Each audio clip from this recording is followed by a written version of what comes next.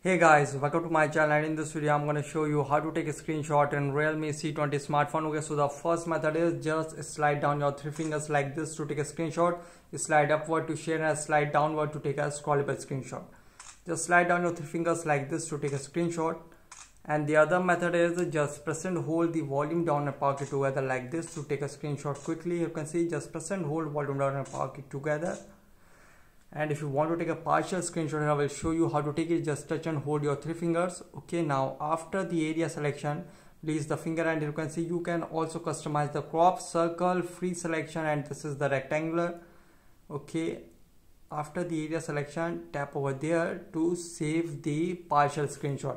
And if you want to take a long screenshot here I will show you how to take it okay now and this just slide down your three fingers. Okay now slide downward to take a scrollable screenshot. You can see auto taking a scrolling screenshot or when finished press on done to save the screenshot.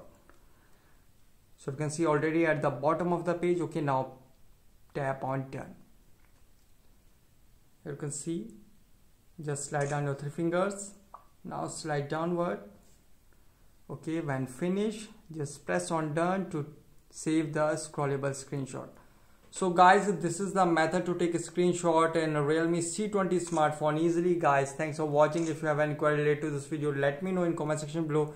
Please like share subscribe and click on bell icon for latest updates